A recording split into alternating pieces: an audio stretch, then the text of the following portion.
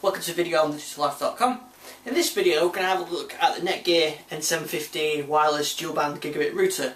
Uh, I've reviewed, reviewed, a couple of routers from Netgear recently and uh, I've seen a sort of performance increase uh, when using some of them. So this one promises the high speed uh, and HD uh, streaming and all that kind of stuff. So I'm going to have a look at the box, have a look at the router, then I'm going to plug it into my network and just do a sort of an experiment copying a couple of files and see if we can see the difference. So uh, let's have a look what's in the box. In the box we have network lead, power supply, um, a stand and the router itself. So there we've got the router, we've got um, indicator lights at the front, uh, we've got gigabit ports on as well, which we look around here, we can see gigabit ports. We've got the connection for connecting to the rest of your network, and we've got looks like a USB uh, host as well, so we can plug in um, a device and share it out using one of their sort of uh, share applications. There's an iPad that goes with this as well, so I'm going to use that to to help set it up and uh, get it working.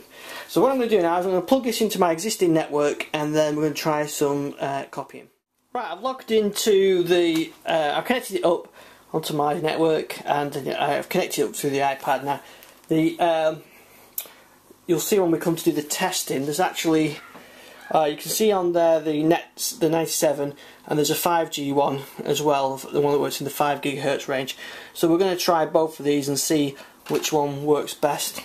Uh, I've also installed the Netgear Genie app where it really gives you all the settings to the to the uh, to the router as well. So you could use a web interface, but here you've got things like um, there's the key and the password. This is not my normal password. This is the default one. Um, so you can change those if you want to. Uh, so you can override all the settings, which is probably what you want to do anyway. From here I can enable guest access, um, parental controls, um, so it can. It looks like it uses an OpenDNS account. The app, yeah, it's okay for doing the setups, everything. Let's actually see what makes a difference, and we'll do that with the performance. Uh, we'll do some performance testing. So what I'm going to do, I'll go on my Surface, and I'm going to copy a file over my old router, which is a G uh, 811 uh, G router, and then I'm going to copy, connect using this to the 2.4, copy the same file, and then the 5 and copy the same file as well, and we'll see the performance difference. Right, so I'm now going to copy this Power DVD uh, file, 123 meg, so copy it to the desktop here on my Surface. This is using my 802.11g network. So there you can see the copy speed, 1.3, about meg, uh, megabit per second, so um, yeah, not bad. Not bad copy speed. So well, remember that. So we're, oh, we're going up a little bit there. So it's leveling out just un, under, just around the meg, meg and a bit. So let's try now connecting to the uh, 2.4 gigahertz network, and we'll see the performance then. Okay, so now I'm on the 2.4 uh, gigahertz network, and I've connected up a PC onto the router downstairs directly via the Ethernet port, so we can test the speed of copying on this. So now I'm going to copy this file over. At 2.4 gigahertz, you see we're getting, oh, we're going up to 2, 2.6, um, so around 2.5, 2.5, 2.6, so faster than the connection before uh, using my old G router. Um, so let's compare that now to the uh, 5 gigahertz frequency one. Okay, so connected to 5 gigahertz. Let's copy this file over and see if there's any difference. So yeah, you can see the difference there.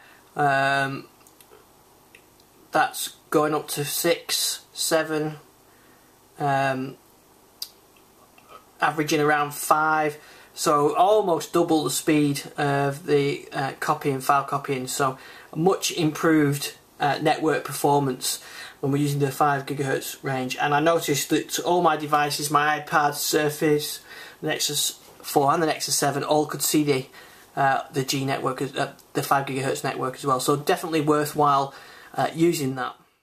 finally we've got a quick look. We looked at the iPad config. This is the uh, through the web browser as well, so you can see your status of your network and your uh, device attached devices. The ReadySHARE. So this is where I can plug in a, um, a USB drive and then share that over the network.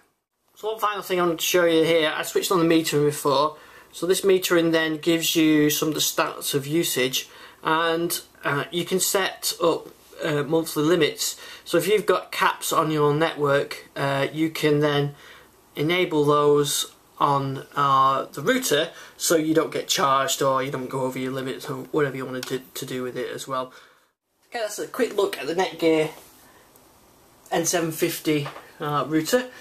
Uh, as you can see, when you're using the 5 GHz range, you get much improved uh, copying speed. So uh, if, you, if local network copying is important to you, then it's definitely a good device to go for. Uh, price and other details in the show notes and link uh, included with this video. Thanks for watching. I'll see you another one. Bye.